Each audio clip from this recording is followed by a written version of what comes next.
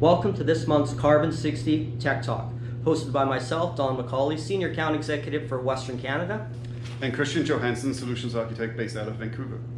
This month we're going to be talking about a technology called Kubernetes, which is primarily known as a container orchestration tool. But what are containers and why would you orchestrate them? Christian, can you explain that for us? Absolutely. Thanks, Don.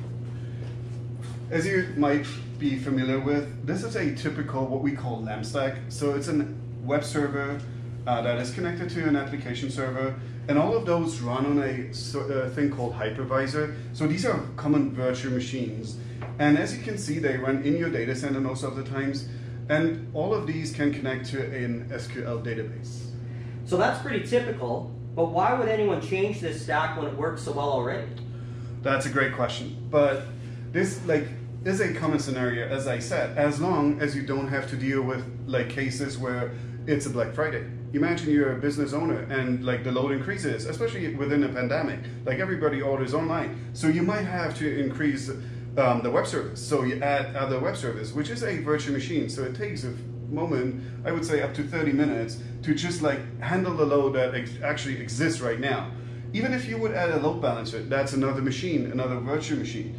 And if we think about the app layer, maybe this was not built in terms of like the service that can handle this. So you might have to add a message queue or a cache or something. So this becomes a, a, challenge. And the other thing I see is these are virtual machines with different operating systems, different standards. So if you want to update and patch and make them secure, that's kind of an ongoing process. And this is because it's something called configuration drift happens all the time. So yeah, that's kind of like the, the two main things is like, how do you scale those? How do you add components? And the third one is like, how do you handle the day two operations?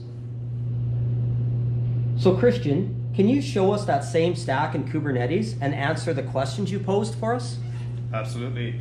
And as you can see, we're talking literally about the same stack. So you see that this is a LAMP stack as well. There's a few minor differences. So we have still the web app and DB layers, but they are part of the OS. So a Docker container describes an application that's kind of like in an immutable container.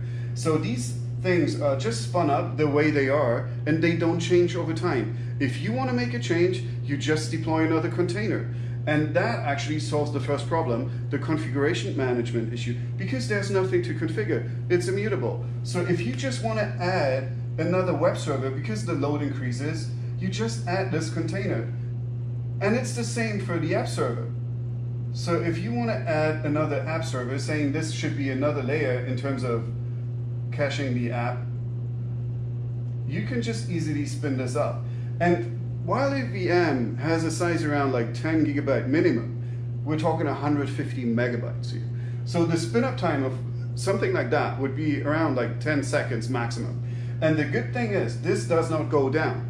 And because Kubernetes takes care of all of the orchestration around that, it's easy to even add a load balancer, which is immutable as well in front, and saying, okay, now that I might have like three different web servers to cover the load in this peak time, because I know that this is kind of like the main business event, I can just like add a load balancer in front. And these containers are called microservices. So these services are handled as the web service, as the app service, and even as the DB service in this case. And now we put a load balancer service in front as well.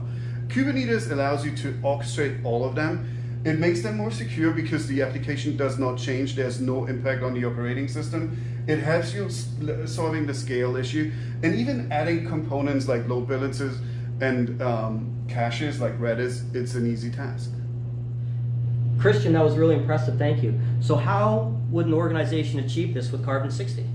Well, actually, that's a good question as well. And I mean, you see this existing stack. This is where we can help you manage this and what we might do for you today. But we also help you to re-architect this into something on Kubernetes.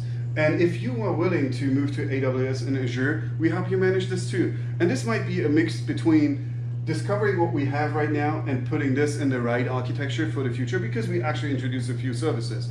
And did I mention the best? With a container environment, you're able to just move anywhere because they are independent from the hypervisor. Christian, thank you very much again. And thank you for watching. If you'd like any more information on this or any other our cloud offerings, please contact us at the following information.